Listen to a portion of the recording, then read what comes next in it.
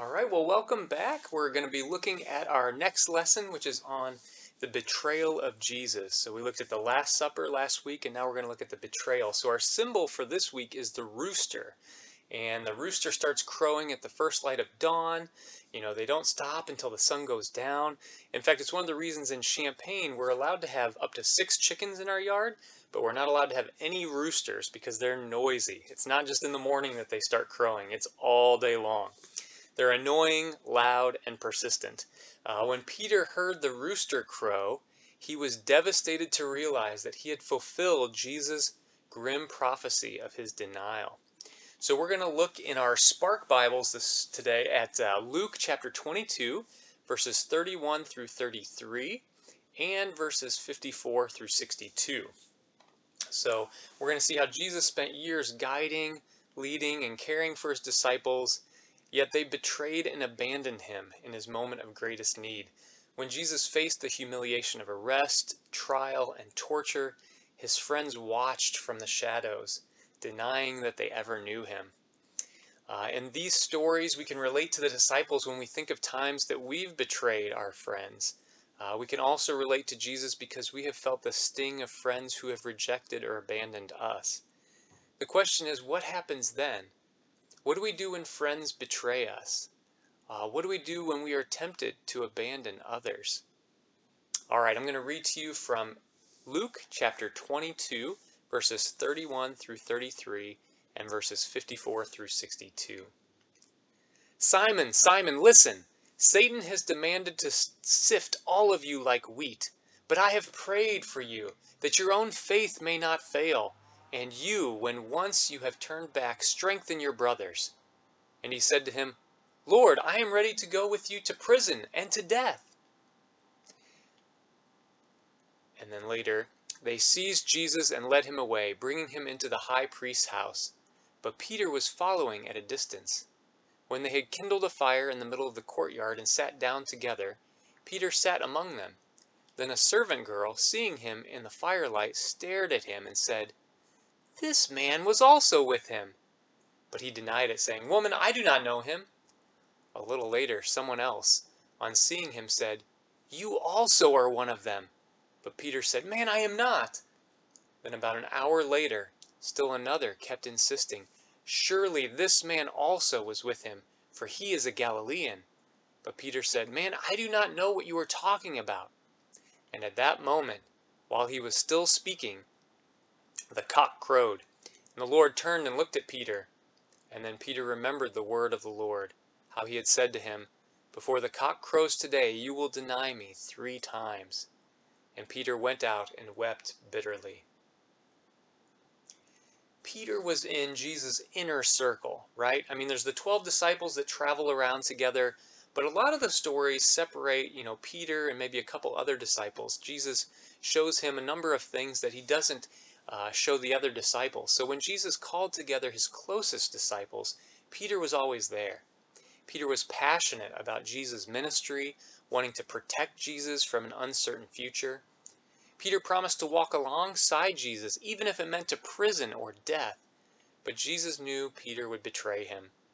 And just as Jesus predicted, Peter denied his association with Jesus three times before the rooster crowed.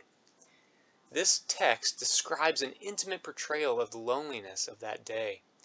And if Peter wouldn't be faithful friend, who would?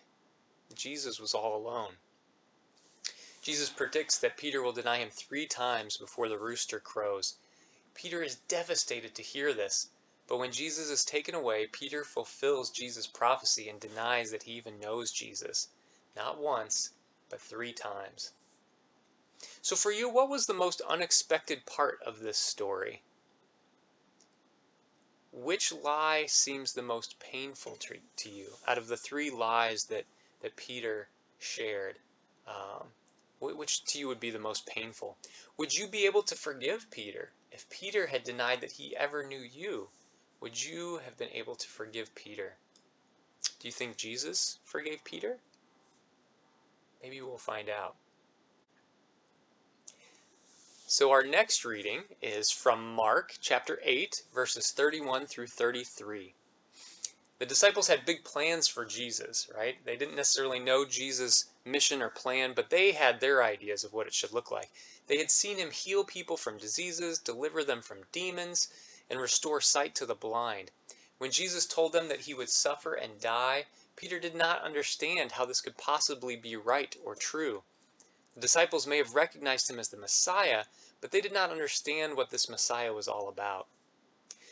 So when I read this next section, I want you to draw a little little emojis that you think would fit next to the words for suffering, rejected, killed, and rise. So those four words, when you see those words in your Bible in this section, in this story, I want you to make little emojis next to those and what you think that emoji face would look like for each of those different situations, each of those different words. So a reading from Mark chapter 8, verses 31 through 33. Then Jesus began to teach them that the Son of Man must undergo great suffering and be rejected by the elders, the chief priests, and the scribes, and be killed, and after three days rise again. He said all this quite openly and Peter took him aside and began to rebuke him. But turning and looking at his disciples, Jesus rebuked Peter and said, Get behind me, Satan, for you are setting your mind on divine things, not on human things. Whoa. Jesus calls Peter Satan. Jesus knew that he would suffer and die, and when he predicted his death, the disciples did not understand or like what he was talking about. This could not happen to the Messiah. This was not part of their plan. Jesus got angry at Peter for not understanding, saying that he is focusing on human things and not divine things. Have you ever done that? Have you ever focused on human things and not divine things? In what ways does the church focus on human things and not divine things? Peter uses, uh, is called Satan, right? So Jesus uses the word Satan, Satan, which means adversary. All right, so this is different than like the devil creature we kind of imagine, the red and horns and all that stuff. Anything that's against God's plan could be an adversary, could be Satan, right? So it's a little different than one person that we think of as the devil.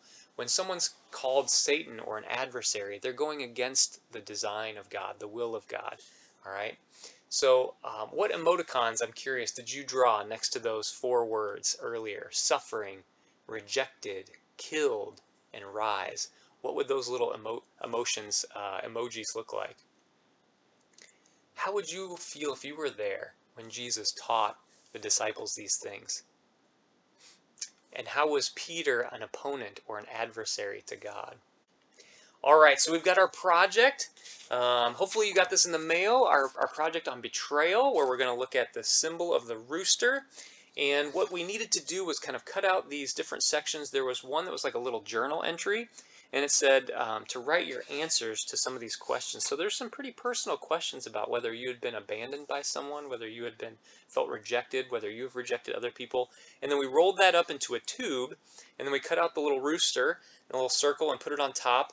And then you should have a little string that goes all the way through with a paper clip tied on top. So I've got mine here with my little paper clip on top and then it says to get like a wet paper towel and um, hold the string with the wet paper towel and just kind of tug um, see, it says tug around the string uh, a few times a few small tugs and see if you can hear the rooster crow so let's try that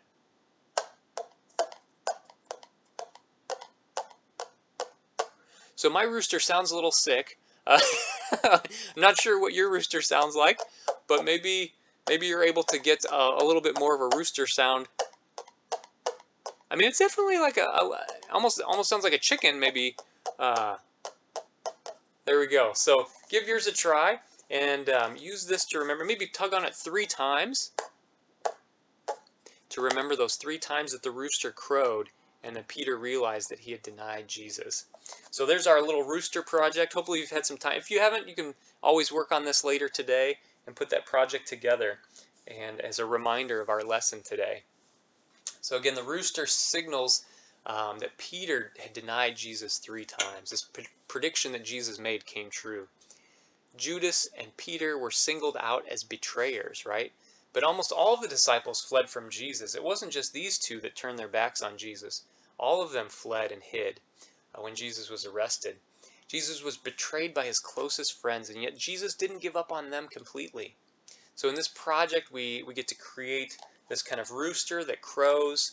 And remember that three times. Remember that number because later we're going to see Jesus meet Peter again. And he's going to be doing something three times. Um, so why are friends so important? Uh, why is it important to have friends? How do you know if a friend is loyal? What sorts of things would help you to see that a friend is loyal and will be with you no matter what? Uh, do you have friends like that? Hopefully. Hopefully you have really close friends like that. Uh, what are ways that uh, friends betray one another? Maybe talking behind each other's backs. Um, maybe uh, you, maybe they just quit hanging out with you. Um, you know, Peter was embarrassed to tell people that he was friends with Jesus. Maybe sometimes um, you're around a different group of people and you're embarrassed to say that you're friends with one of your friends because they don't think that person is cool. That's a form of betrayal and turning your back on your friends.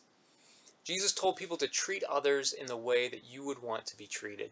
Um, how does this relate to friendship and, and the golden rule? Think about that. The golden rule treat others as you would want to be treated. Uh, do you think Jesus was able to forgive all of the disciples? Um, Jesus calls us to forgive everyone and even to love our enemies. So, why is that so hard sometimes?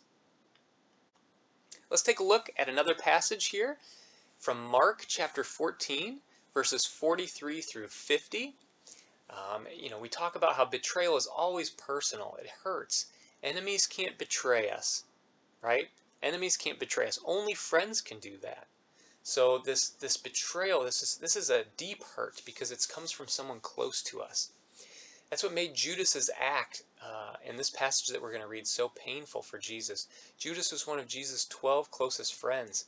And despite the pain of betrayal, the most remarkable aspect of this passage is that Jesus accepted Judas's act and did not fight it. Jesus chose humility and submitted his life to be controlled by his betrayer. The God of the universe in flesh in Christ submits to the desires of the, the friends around him. So we're going to read Mark chapter 14, verses 43 through 50. Immediately, while he was still speaking, Judas, one of the twelve, arrived, and with him there was a crowd with swords and clubs from the chief priests and the scribes and the elders. Now the betrayer had given them a sign, saying, The one I will kiss is the man. Arrest him and lead him away under guard. So when he came, he went up to him at once and said, Rabbi, and kissed him. Then they laid hands on him and arrested him. But one of those who stood near drew his sword and struck the slave of the high priest, cutting off his ear. Then Jesus said to them, Have you come out with swords and clubs to arrest me as though I were a bandit? Day after day I was with you in the temple teaching, and you did not arrest me. But let the scriptures be fulfilled. All of them deserted him and fled. Later in this passage, uh, you can read on in this passage and find out that Jesus actually heals the ear of the slave of the high priest um, and tells them to put their swords away. So Judas is one of Jesus' 12 disciples, and yet in the end he betrayed Jesus to the authorities.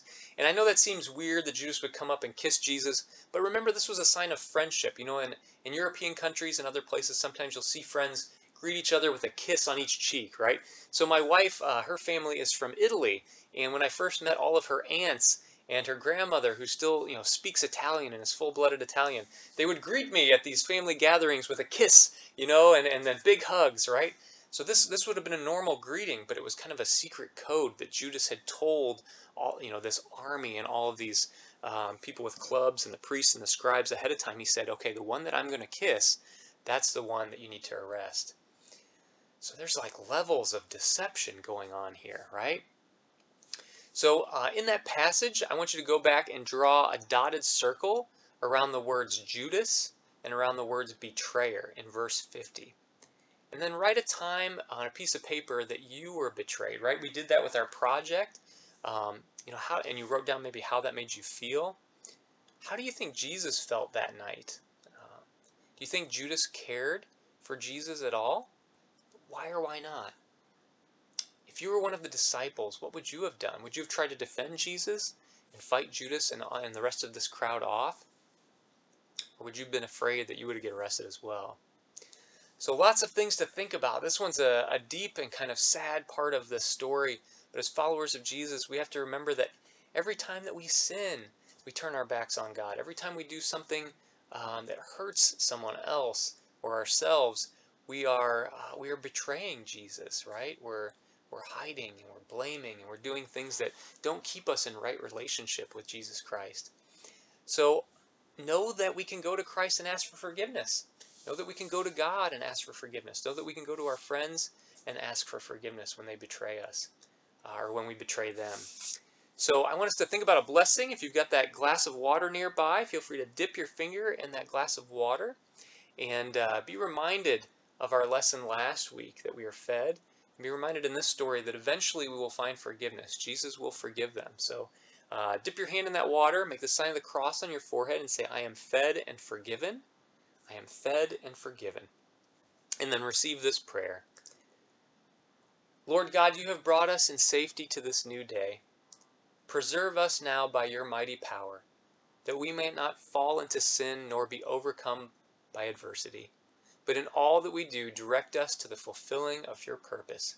Through Jesus Christ our Lord. Amen.